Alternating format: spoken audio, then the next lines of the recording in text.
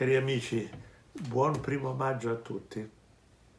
E aggiungo anche nel ricordo di San Giuseppe del Falegname.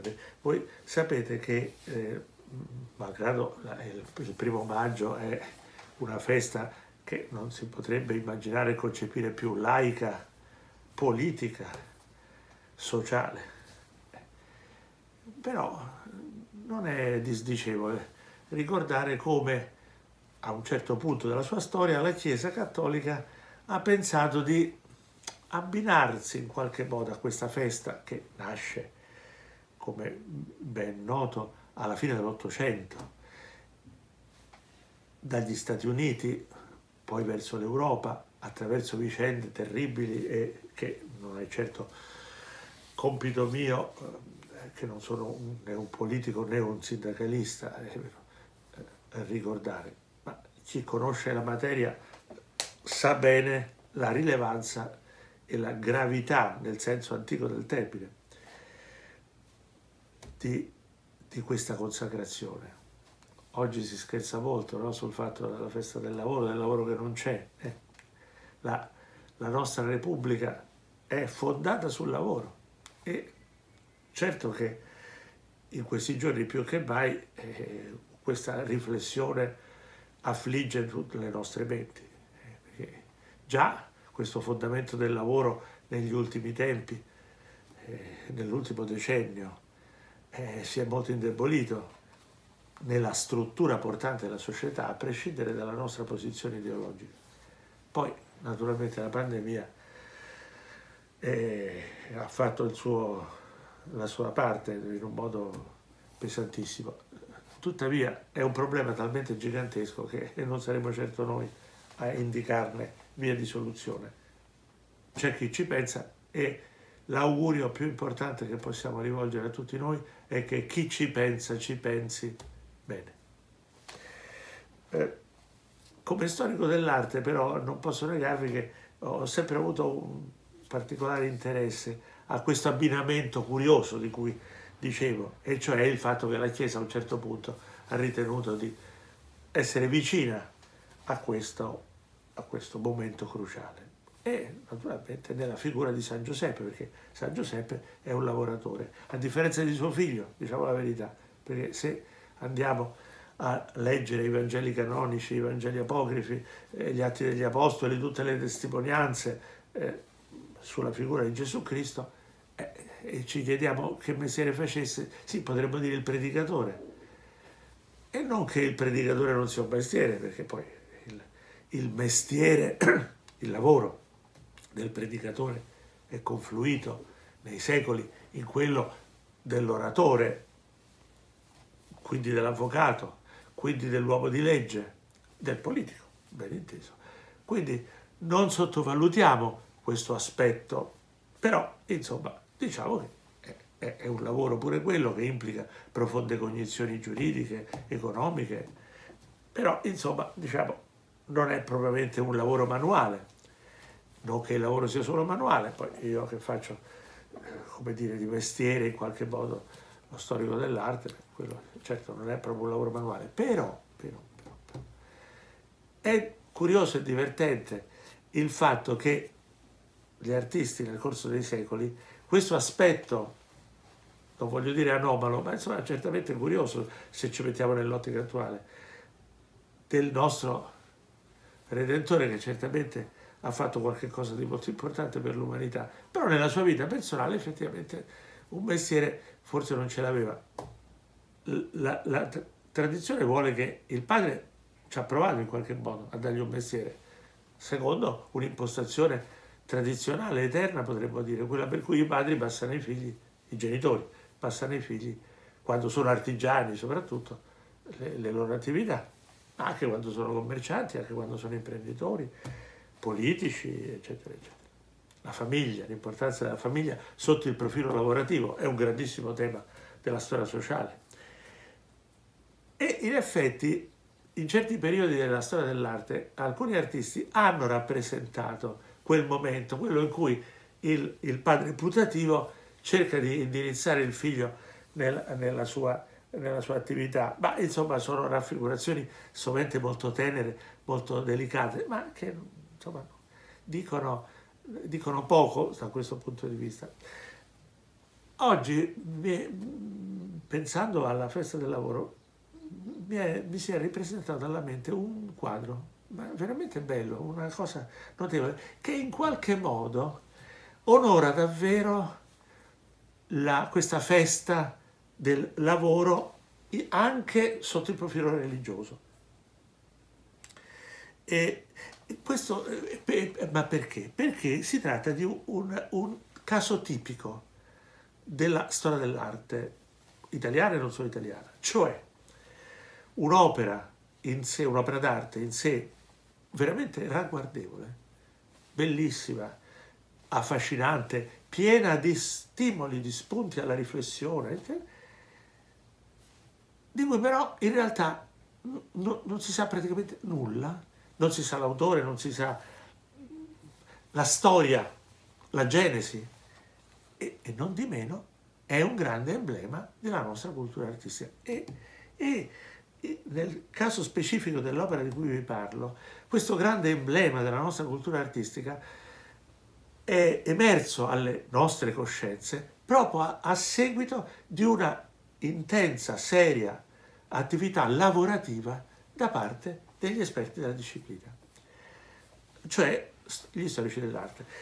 Perché vi dico questo? Perché in realtà nella nostra mentalità sovente eh, il mestiere dello storico dell'arte, non tanto dell'artista, tutti siamo pronti a condividere il concetto che l'arte è un mestiere, sì, certo, una professione, un mestiere. Lo storico dell'arte nella nostra società eh, è sì da un lato visto come un professionista acclarato e addirittura consacrato nelle strutture ufficiali, nel Ministero dei Beni Culturali, gli storici dell'arte che sono quindi pubblici dipendenti, costituiscono uno, uno delle, delle, delle, ossature, potremmo dire, strutturali di questa funzione. Quindi lo storico dell'arte, come l'architetto, come l'archeologo, è un professionista pubblico, poi è un docente. Presso le università ci sono le cattedre di storia dell'arte. Quindi non si può certo sostenere la tesi che lo storico dell'arte non è un una persona che lavora. Però questo lavoro è stato sempre visto dalla società come un lavoro molto connotato di dilettantismo, vogliamo dirlo, di estetismo.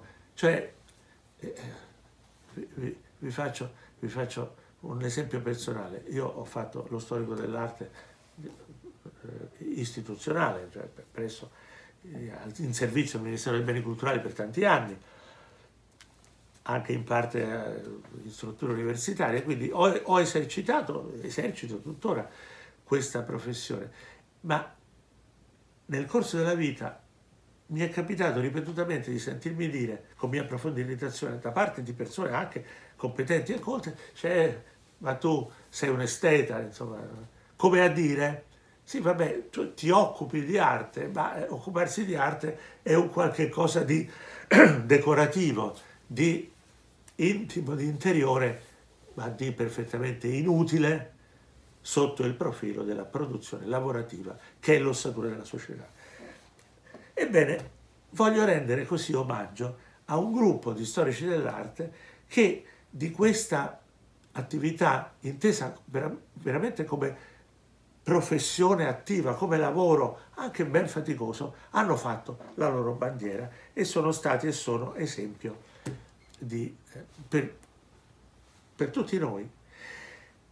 L'opera di cui vi parlo, infatti, è stata rintracciata attraverso un lavoro veramente indefesso, impegnativo, faticoso, che questo gruppo di esperti ha sviluppato parecchi anni fa per concretizzarlo poi in pubblicazioni, mostre, eccetera, eccetera. Chi sono queste persone e qual è l'opera di cui parliamo? È questo, questo quadro che rappresenta la, la bottega di San Giuseppe che fu identificato da questi ricercatori in un modo veramente singolare. Qual, qual era l'obiettivo della loro ricerca?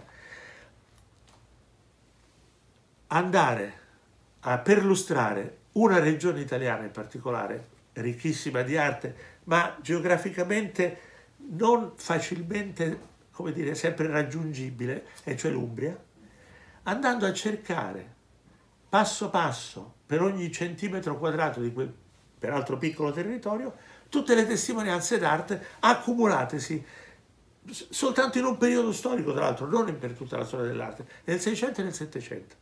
Ne scaturirono dei libri intitolati Ricerche in Umbria, pittura del 600 e del 700, che sono stati per noi studiosi dei modelli di modo di fare ricerca, di intelletto, per così dire, intelletto d'amore, come dicevano i poeti di un tempo, cioè come questo grandissimo amore per l'arte abbia provocato un enorme ampliamento delle conoscenze. Ebbene, un giorno questi ricercatori, esplorando palmo a palmo eh, l'Umbria, si trovano in una zona che sentite come, come la descrivono nella pubblicazione che poi seguì di questo quadro.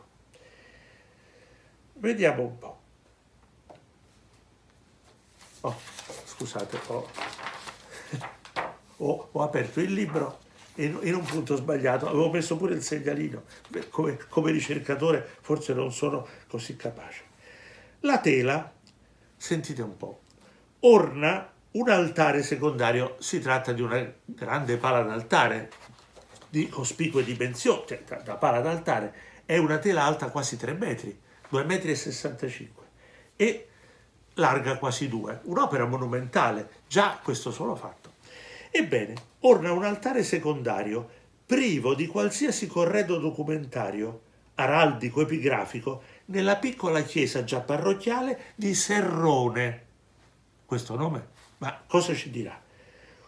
Cos'è Serrone? Un'esigua villa di transito legata alle modeste correnti di traffico di un itinerario, parallelo prima al corso del Vigi, poi a quello del Benotre, che costituiva uno dei collegamenti tra la strada della Valle del Nera e quella che da Foligno risaliva l'Appennino fino al valico di Colfiorito e alla Marca Camerte, terra anch'essa della Chiesa. E poi continua la descrizione. Ditemi un po', cari amici, leggendo questa descrizione, visualizzate facilmente questo luogo, la cittadina di Serrone, quella valle, ma io non credo proprio.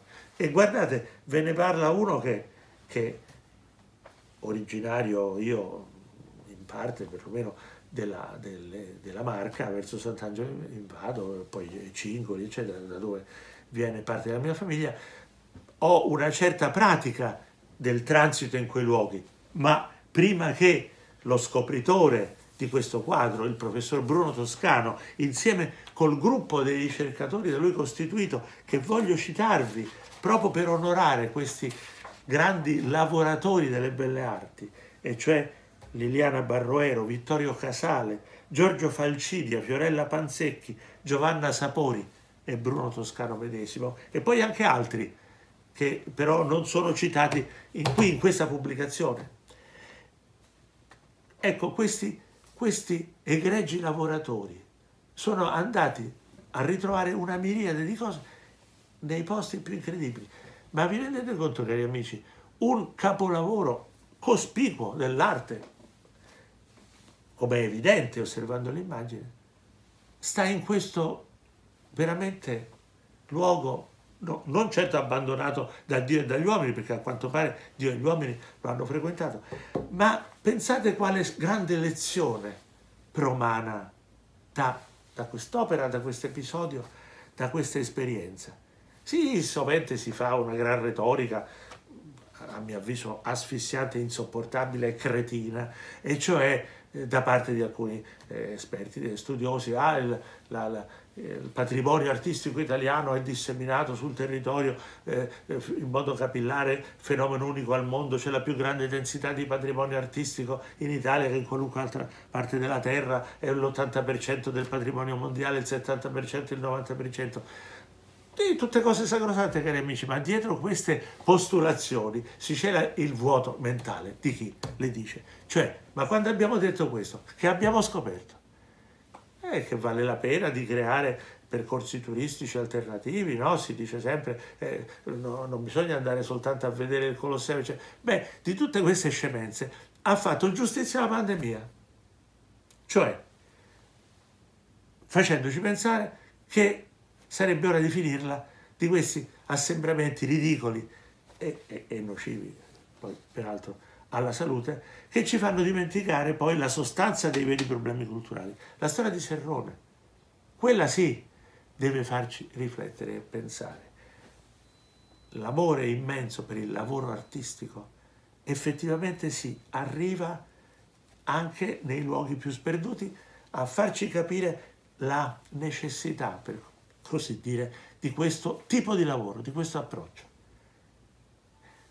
Pensate, malgrado le ricerche appassionate degli studiosi che vi ho appena citato, ancora oggi nulla si sa di questo mirabile, veramente mirabile dipinto. È, è, è deliziosa l'idea iconografica, bambino, la, la, la mamma sta è intenta all'opera femminile, intenta, come diceva Leopardi, sta cucendo, è lì nella bottega, bellissima bottega del, del, del, del San Giuseppe, un bell'uomo vigoroso anche se di età matura, è lì ritto in piedi, il bambino è in mezzo e con, utilizzando i fili che la, la madre stessa, di cui la madre stessa si serve per, per cucire, sta prendendo due pezzettini di legno, che evidentemente sono il risultato del truscolato, quasi che, che poi si vede anche a terra, del lavoro del padre, e si sta confezionando un oggetto in forma di croce. Sorride, è una, una immagine idilliaca, stupenda di questo fanciullino, con questi boccoli, e è, è molto probabile che il pittore che ha eseguito questo quadro fosse no, no, non italiano, forse fiammingo, francese, provenzale, chissà, basta vedere la finestra che è sullo sfondo del quadro, è proprio una finestra gotica, che con l'Italia, insomma, c'entra e non c'entra. Gli studiosi hanno pensato, si vede che un artista proveniente da, da fuori, da fuori Italia, è, ha, ha fatto questo quadro richiamando nel quadro stesso le sue origini culturali, questo quadro che emana sorriso, dolcezza, quiete, è un qualche cosa di, di magnifico. Com'è possibile che non si sappia nulla di un pittore del genere? Ma chi è, chi è il grande pittore che ha eseguito questo quadro? E come mai lo ha fatto per Serrone, per questo borgo? Ma nemmeno questo è sicuro. Può darsi che quel quadro sia stato portato in questo piccolissimo borgo non quando è stato eseguito, ma molto tempo dopo. I ricercatori un'intuizione l'hanno avuta, hanno notato che a Roma, nella chiesa del Gesù, su un altare dedicato proprio a San Giuseppe, c'è un quadro, un quadro dell'Ottocento, del 1890, di un pittore, un grande pittore dell'Ottocento, Gagliardi, che rappresenta la bottega di San Giuseppe in modo molto simile a questo dipinto. E hanno notato che in giro per l'Italia altri quadri che rappresentino la bottega di San Giuseppe in quel modo non si trovano. L'unico caso è quello, anche se a grande distanza di tempo. Beh, sapete cosa potrebbe essere successo?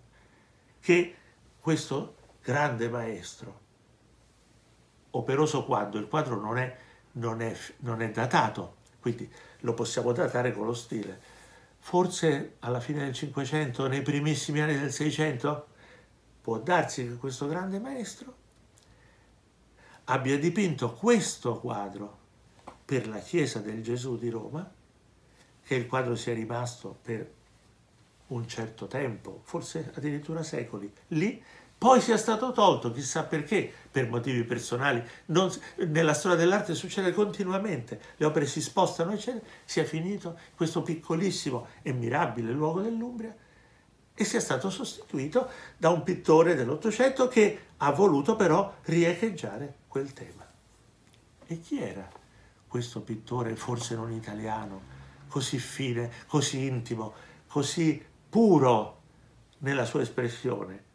tanto da destare in noi sentimenti di profonda ammirazione e rispetto anche per la festa stessa che in qualche modo noi oggi colleghiamo. La festa di San Giuseppe, peraltro, non è il primo maggio, lo sapete, è a marzo, ma, ma ecco una grande lezione dell'arte. Non abbiamo notizie precise, però una notizia ce l'abbiamo, è l'opera d'arte stessa. Un grande dono, un grande beneficio al nostro pensiero. I ricercatori hanno notato che su uno degli oggetti lì della bottega del, del santo, sul quadro, c'è scritto una lettera però, una G. Che vuol dire? È la firma del pittore? Non lo hanno spiegato e chissà che qualche ricercatore in futuro lo spieghi. Una bella parte del nostro lavoro di addetti, diciamo così, alle belle arti.